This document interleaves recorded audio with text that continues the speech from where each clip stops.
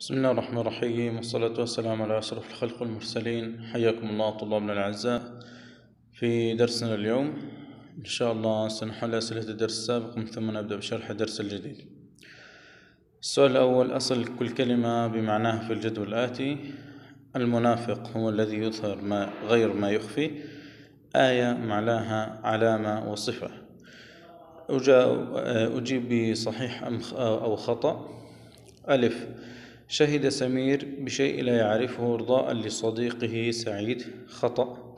باء اشترك قيس في إحداث الفوضى في الصف ثم أنكر ذلك خطأ. جيم أنجزت جنى واجباتها المدرسية بإتقان في الوقت الذي وعدت وعدت به معلمتها صحيح. دال استودعت مها أختها سرا فأذاعته أذاعته يعني نشرته. لم تكتم هذا السر فهذا أيضا خطأ.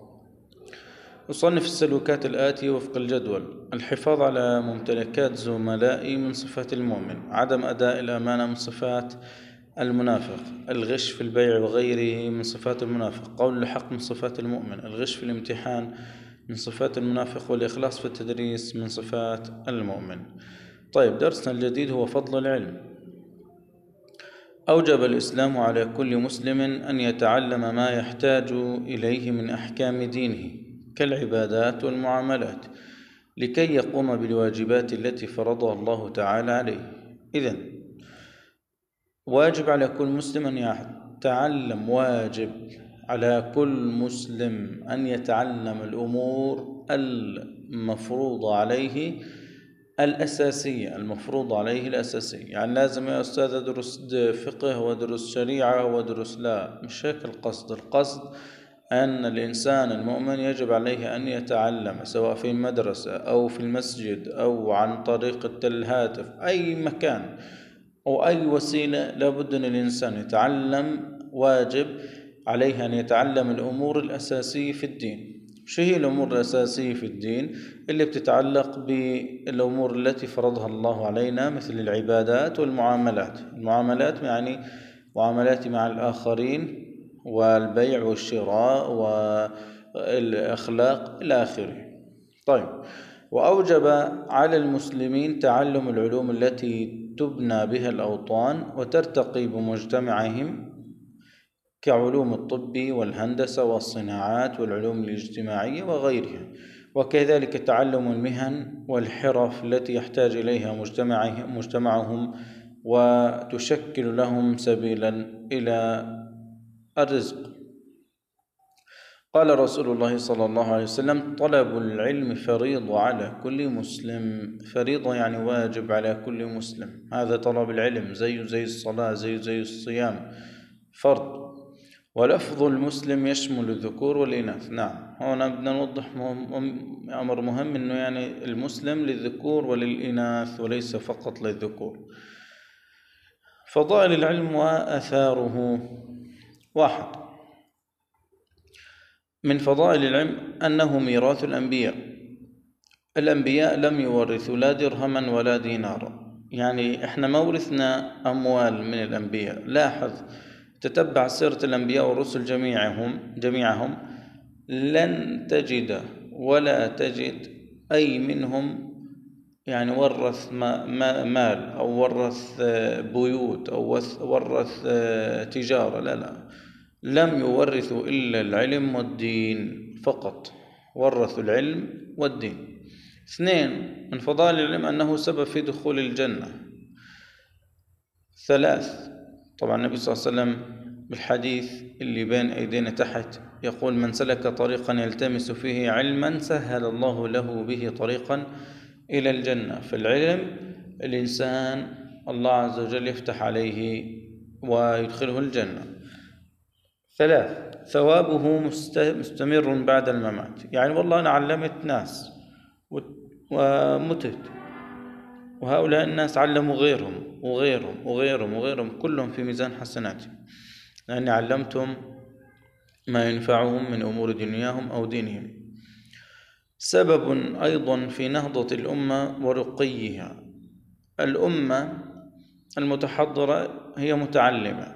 الأمة المتحضرة هي متعلمة وراقية. فلا بد أن يعني أن تكون متعلمة وعندها العلم حتى تكون متطورة ومتحضرة وراقية. طيب مظاهر اهتمام المسلمين أو الإسلام بالعلم. إحنا حكينا عن فضائل العلم. وآثاره على الفرد والمجتمع.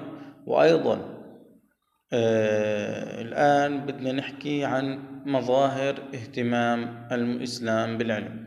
يعني بدنا نأخذ زي نماذج يعني. اهتم الإسلام بالعلم وجعل طلبه فريضة على الرجال والنساء وحث عليه ورتب عليه الأجر والثواب وعده سببا في قوة الأمة وعزتها. كيف اهتم الإسلام بالعلم؟ عندما جعله فريضة على الرجال والنساء اثنين حث عليه ورتب عليه الأجر والثواب ثلاث عده سببا في قوة الأمة وعزتها.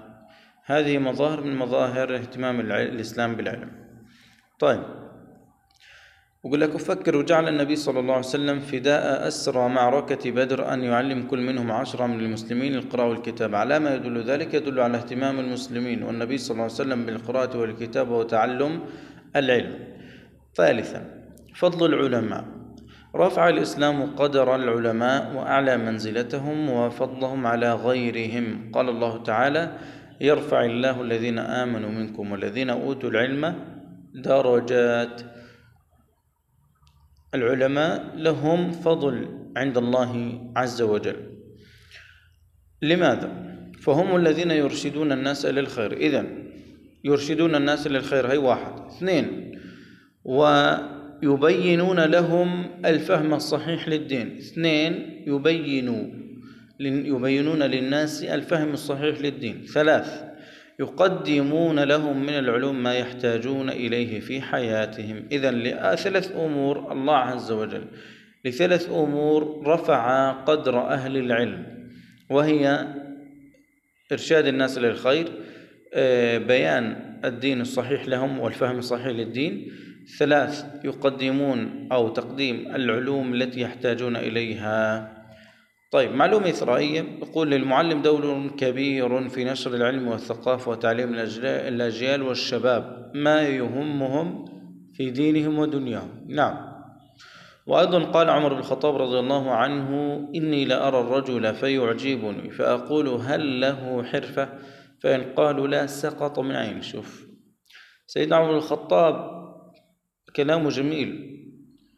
وقول إنه يعني أنا أنظر للإنسان وللشخص. إن أعجبني هذا الشاب وهذا الرجل بسأل عنه.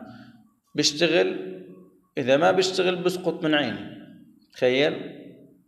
فالإنسان بده يحرص على أن يكون له حرفة أو أن يتعلم العلم. طبعا الحرفة هي تعلم لا مش شرط مش شرط يكون العلم نظري ممكن يكون العلم عملي تطبيق عملي. هذا الحرفة هاي تطبيق عملي. المهم أنه الإنسان ينشغل بشيء يفيده في الدنيا ويفيده في الآخرة بإذن الله تعالى. هكذا نكون قد أنهينا درسنا اليوم. يعطيكم العافية.